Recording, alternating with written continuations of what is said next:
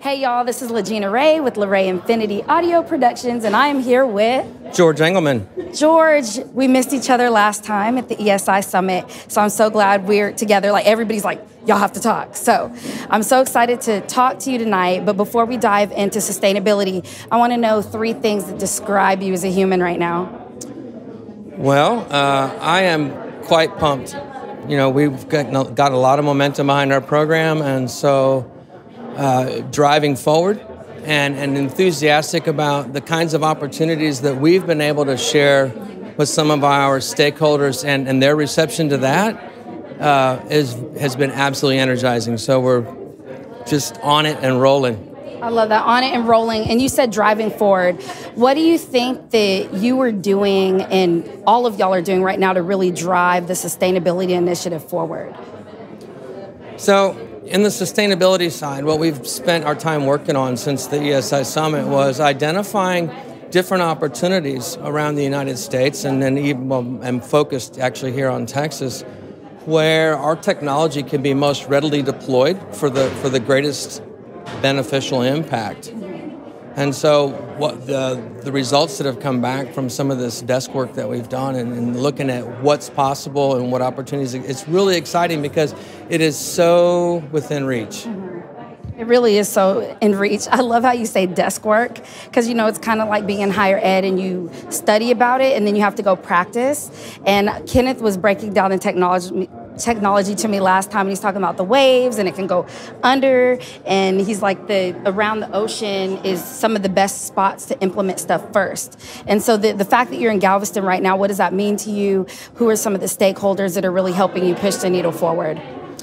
So galveston first off is, is kind of a point of origin for my career uh, even for this technology this this wave driven energy technology uh, the original devices were actually deployed right out here in front of the Galvez Hotel uh, about 15 years ago. Okay. And ran a program that was supervised by Texas A&M University, and it was basically to validate how it works and that it works. And they were able to measure the power performance, and they were able to measure the waves. And and so there was a, a real a real waypoint, a significant waypoint in the journey of the Sea Dog right? And it was right here. It was actually Ken and his team stayed in this hotel while they did surveillance on the device out off of the pier.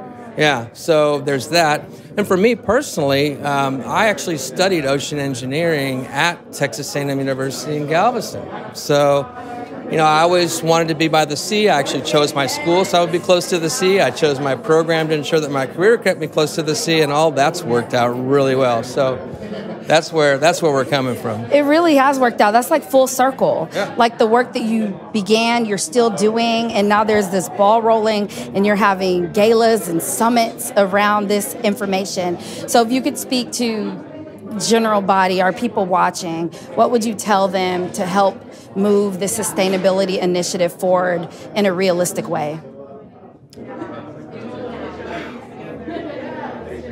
The best thing that, that I would recommend somebody do at this point is just to get educated, yeah. right? And and to do so means read read deeper than the headlines, mm. you know, and and dig deeper than what is put in front of your eyes.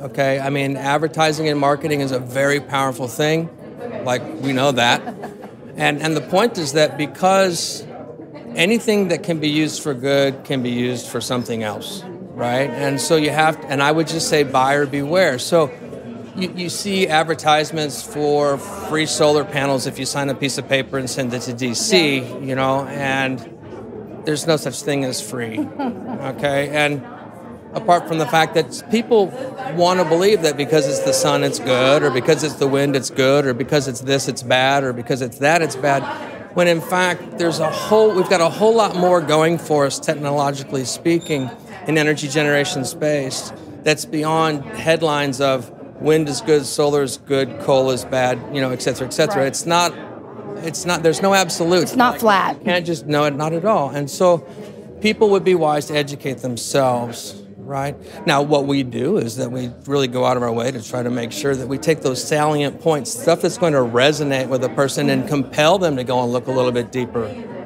right? And that's, that's really where my mission is at. Is that I've identified technologies that work. Okay, using all the expertise of my 30 years in energy and working offshore and in love with the ocean, taking all of that together, and I'm really at kind of an intersection in my life where all that I've done in the past has found itself right here, right here on a point, and this is what I've discovered is how it works. So, you know, this the technology behind energy creation using our systems is superb and it's, it's very it's absolutely sustainable scorecarded against anything and it's be- it's better It's better. it's better Period. All right, y'all. My name is LaGina Rae. I'm here with George. We finally got to connect, and we're about to go inside and get started. Thank you so much. I appreciate you. And we're signing off, y'all. LRI Audio. Peace.